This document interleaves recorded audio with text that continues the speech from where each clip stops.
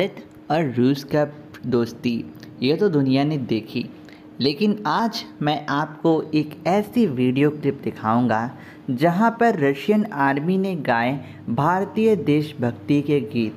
राज कपूर का फ़ेमस गाना, मेरा जूता है जापानी, ये वाला गाना गाया है रशियन सैनिकों ने। तो इस वीडियो को देखें इन्जॉय करें। खबरों में बने रहने के लिए सब्सक्राइब ज़रूर करिएगा। 목회장만이